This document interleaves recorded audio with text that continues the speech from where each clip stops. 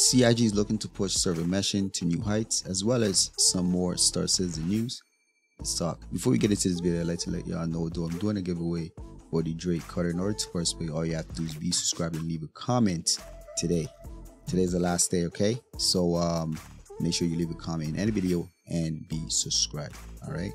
So let's get straight into this video. Alright guys, really exciting stuff. Just not too long ago, we just heard from um CIG through the message of the day. They look to, they're looking to uh, do a uh, server meshing test again in tech preview.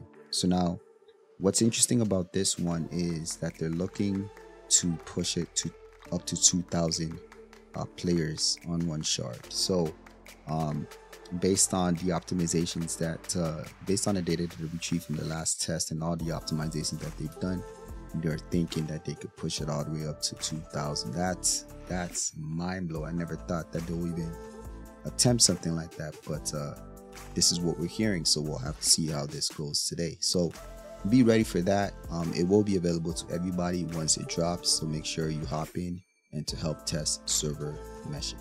All right. So another new CIG release, some more information in regards to uh, CitizenCon this year. Um, we've gotten the schedule up as well as the um, show floor. So let me quickly uh, get into that. Let me show you guys what I'm talking about. So based on what they have uh, shown here, uh, this is what the show floor will look like. All right. This is what it will look like um, once um, it, it, seems like they're going to have a, an actual ship size, I guess, replica of the Hornet and uh, this speaks to Squadron 42. So I'm, I'm super excited. I think we're, we're going to get an announcement for Squadron 42, and I'll tell you why uh, very shortly. So this is what that is, and um, the goodies pack. So an interesting thing about the goodies pack is that uh, for a very long time, right, we've seen the Squadron 42 player character and the squadrons within the Squadron 42 story they have a special suit that CIG said that we'll never get our hands on until Squadron 42 is released. And that is what this is. This goodies pack right here, this armor set in Squadron 42, it's blue. Okay. In Squadron 42, it's blue. But this time around, it's uh they're giving us the white one, a grayish uh, black one. Okay, as well as the P8 is also a gun that we weren't going to see until Squadron 42 releases. So this gives me some indication that um, CIG is going to make some announcements um, in regards to um, Squadron 42 this coming CitizenCon. So that's that's super exciting. Yeah. So up next, uh, there was um, in the latest uh, Star Citizen Alpha 3.24.2 patch for Evocati, the player base did notice that. Uh, CIG is looking to slow down the ships even further. Um, forgive me, I'm there's construction nearby the house. Okay, so um, yeah, CIG um, has slowed down the uh, the boost speeds of the ships. Um, I believe up across the board, and some of the members from the um, Evocati uh, testers uh, posed the question as to the rationale be behind why they're slowing the ships down even further. Okay, so um, I'm gonna put this on the screen.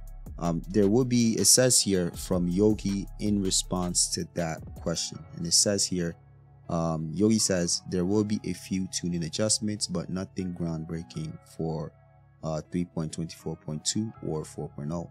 We will start working on a new FM. Not sure what that means.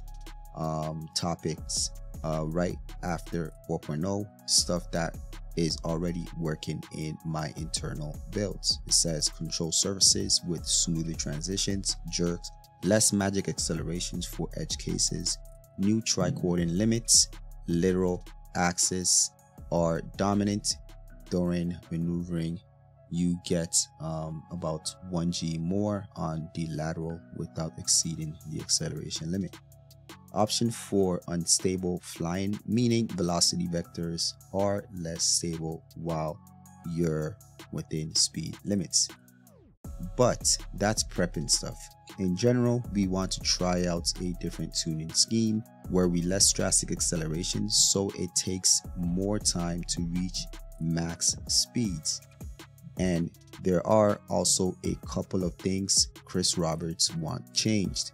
But all that stuff is a post CC, post 4.0 effort. Really interesting. It says, well, aside from change tuning due to the change loadout, of course.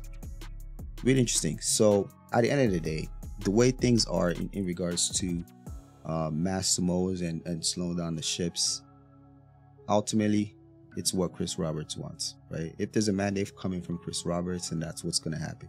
There's a reason for it, right? So, um, I think I'll work on a video um, in regards to um, master modes, just to showcase what I think CIG is aiming for, and as to the reasons why they're slowing down uh, ships in general. And I think it'll make sense once you once you see um, what I show in that video. Okay.